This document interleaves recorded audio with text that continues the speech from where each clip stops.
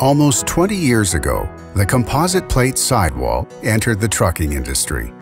And for two decades since its introduction, many trailer manufacturers have rushed to mimic the original design. But in 2009, the engineers at Utility Trailer Manufacturing challenged the status quo and introduced to the industry the 4000DX Composite Dry Van, advancing old composite plate trailer design to a new and higher level of reliability and performance, and it's been turning heads ever since. The 4000DX Composite thin wall van was refined over hundreds of miles of real-world testing on Utility's proprietary Torture Test Track. Every design detail was meticulously examined in order to lower the weight of the trailer without compromising on strength, reliability, and performance. To no surprise, the 4000DX Composite became the fastest growing model in our history. A history of exclusively building trailers that spans over 100 years. A close examination of the Utility 4000DX Composite dry van will showcase its advanced features and enhanced performance capabilities. The engineers at Utility started by injecting fresh, new, and innovative thinking into the pursuit of a more versatile and better performing thin-wall dry van design.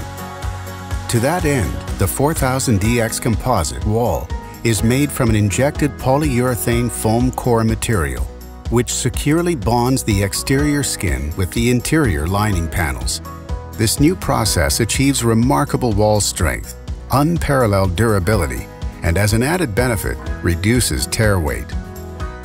Beyond just the composite makeup of our wall, utility engineers also improve the performance of our composite wall trailer by adding 80K flush mount logistics posts throughout the length of the trailer. This innovative design creates maximum sidewall strength and adds best-in-class cargo securement versatility. And our patented snag-free interior wall design fastens the galvanized interior lining to the outer skin with fully recessed squeezed rivets. This unique proprietary design is why the 4000DX boasts a snag-free, high-strength composite wall. But our engineers thought well beyond the sidewalls of our dry van.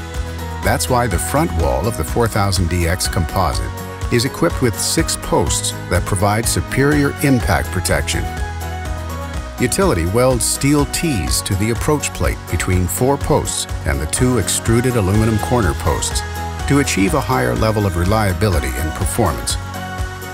And the back of the utility composite thin wall trailer comes standard with a stainless steel rear door frame, which adds significant corrosion resistance and reduces maintenance cost, not to mention increases resale value, improving your overall ROI. Also, to achieve maximum strength at the rear of our trailer, utility engineers added a 27-inch deep integrated threshold plate assembly. It is fully welded to the back plate and side gussets.